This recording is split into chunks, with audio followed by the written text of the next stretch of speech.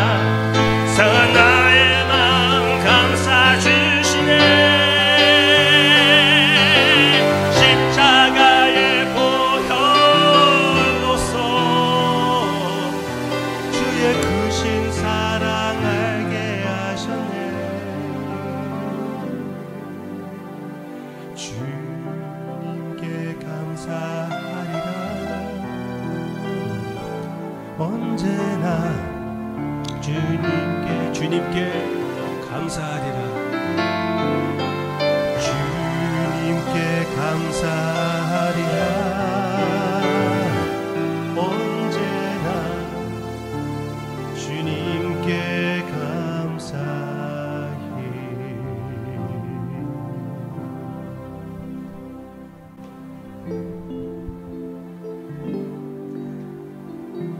안개가 가득 쌓이고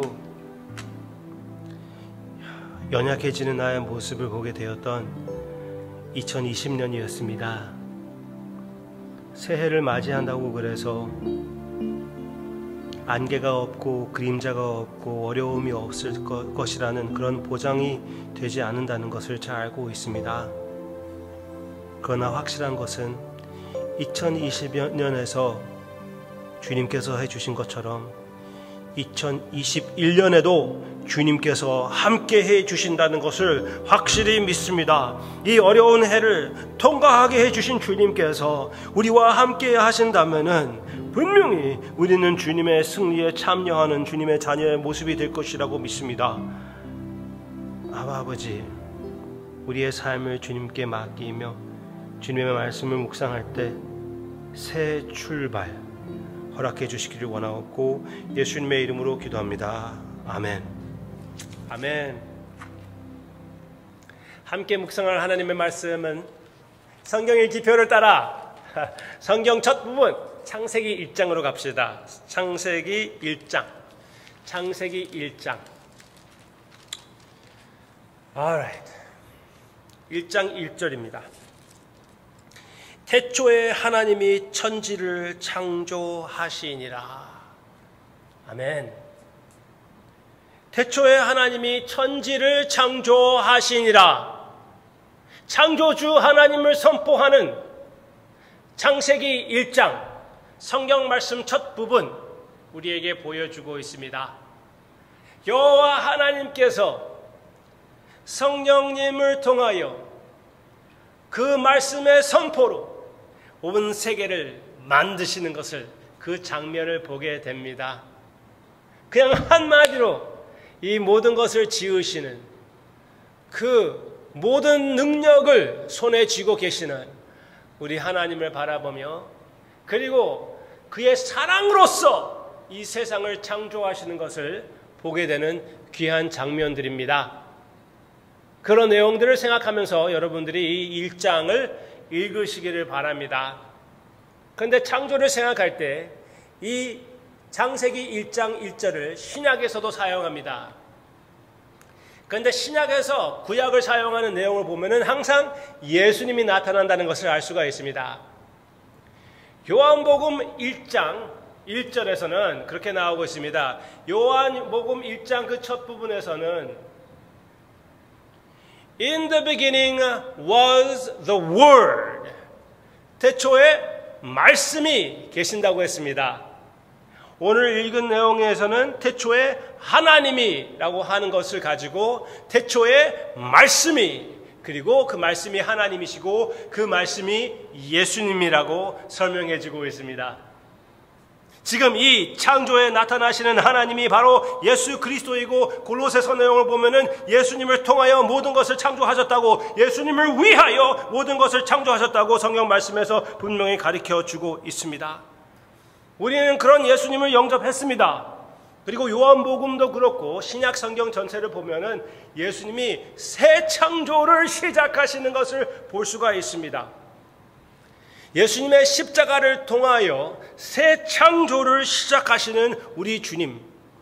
주님께서 부활하시고 제자들에게 계명을 주실 때, 제자들에게 명령을 주실 때 가서 땅을 채우라는 아담과 하와에게 주신 그 명령과 같은 전도의 명령을 주시는 그 모습을 보게 되고 새 창조가 시작되는 그 모습을 보게 됩니다. 지금 우리의 현실은 무엇입니까? 그 새 창조에 참여하고 있는 우리이고 그 새 창조가 완성되어 주님께서 재림할 때 그 새 창조를 가지고 새 예루살렘을 데리고 나타나신다는 것을 우리가 알게 되고 그 새 예루살렘의 역사에 지금도 참여하고 있다는 것을 우리에게 선포해 주고 있습니다. 이 새해를 맞이하며 이 새 창조에 참여하는 우리라는 것을 기억하고 나도 그렇고 나의 가족도 그렇고 기쁜 마음으로 주님의 사역에 참여한다는 그 뜻깊은 의미를 마음에 가득 품고 어려운 일이 있다고 그래도 안개와 같은 그런 사건들이 코비드 19보다 더 심한 것들이 있다고 그래도 주님께서 나와 함께 하심을 그것으로 만족하고 주님의 나라에 내가 아직도 거하고 있고 그 역사에 참여한다는 것으로 참된 삶의 의미를 갖고 기쁜 마음으로 주님 앞에 나아가는 우리 모두가 되기를 바랍니다. 우리의 가족들이 되시기를 바랍니다. 오늘 한 가지 더 묵상하고 싶은 것은 그것입니다. 그 가족의 내용입니다. 하나님께서 그 가족을 만드시는 그 모습을 우리가 보기를 원합니다. 1장 27절 하나님이 자기 형상 곧 하나님의 형상대로 사람을 창조하시되 남자와 여자를 창조하시고 하나님이 하나님의 모습대로 하나님의 형상대로 사람을 만들 때 남자와 여자를 만들었다는 것은 하나님의 형상대로 사랑을 만드셨다는 것입니다. 하나님이 형상대로 사람을 사랑으로 만드셨다는 사실입니다. 그래서 우리의 가족은 무엇입니까? 하나님의 형상으로 지음받은 사랑의 모습이라는 것을 우리가 알 수가 있고 그렇게 실천하지 못하는 것에 대해서 회개할 수가 있고 더 계속 그 사랑으로 지어 나아갈 때 이루어 나아갈 때 하나님의 모습이 나의 가정 속에서 이루어진다는 것을 알고 기뻐할 수 있는 기회라는 것을 기억하시기를 바랍니다. 그게 복음의 목적이거든요. 하나님, 하나님, 성부, 성자, 성령 그 가족에 우리의 가족을 포함시켜서 우리 자신으로 인하여 우리의 가족으로 인하여 사회로 나아가서 그 하나님의 사랑을 표현하게끔 하는 것이 바로 복음의 능력입니다. 그것이 예수 그리스도의 십자가, 십자가가 실천하는 새 창조의 모습이며 믿음의 가정의 모습입니다. 이번 주일날 있을 유아 세례가 있습니다. 우리 교회는 왜 유아 세례를 줍니까? 성인 세례로 만족하고 그것으로 끝나야지 그렇게 얘기하는 사람들이 있습니다.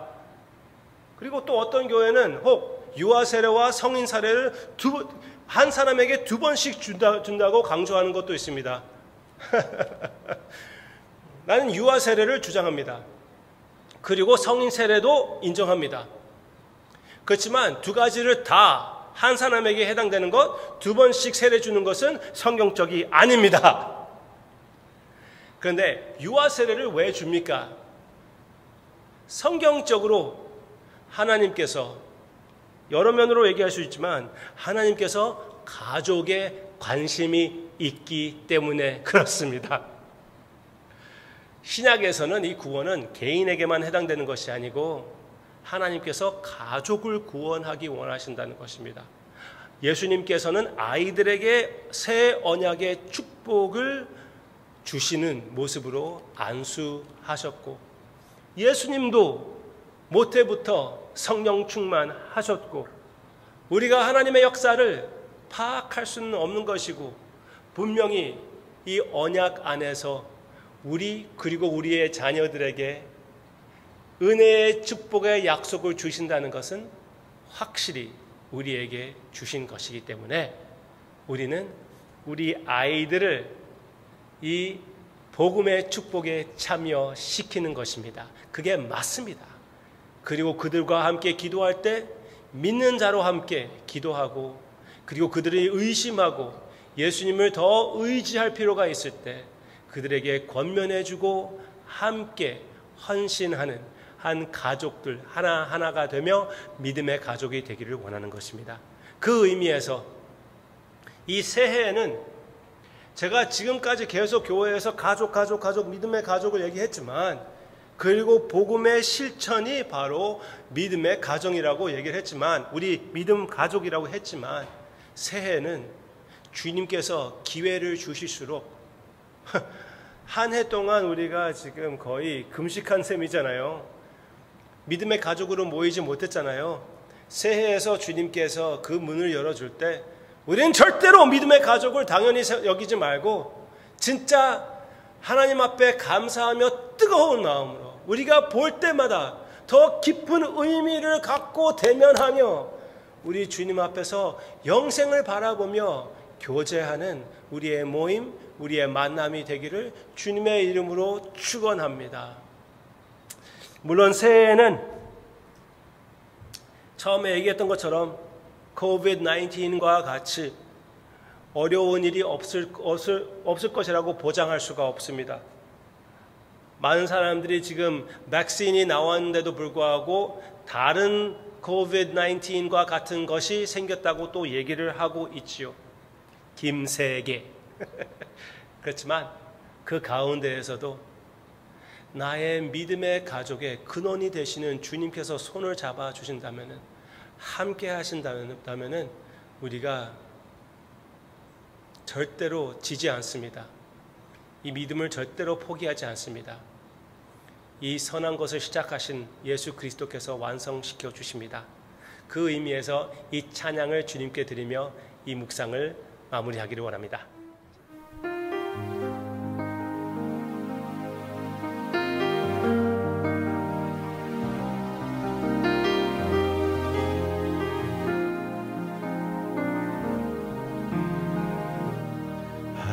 속에서 주님을 보내 아무도 없는 것 같던 그곳에서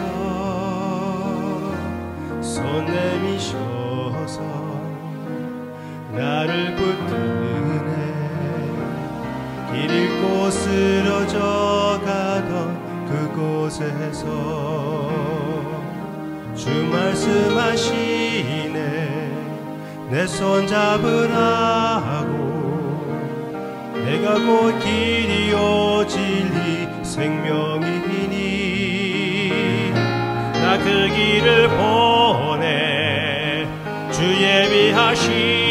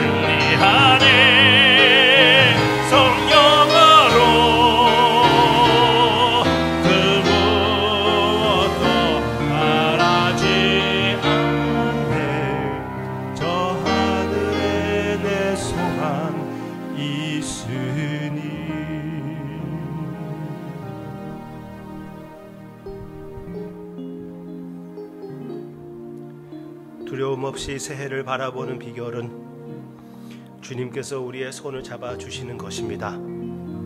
그러나 주님께서 그 손을 놓았다고 느껴질 때는 우리는 불안해지고 당연히 헤맬 수밖에 없습니다.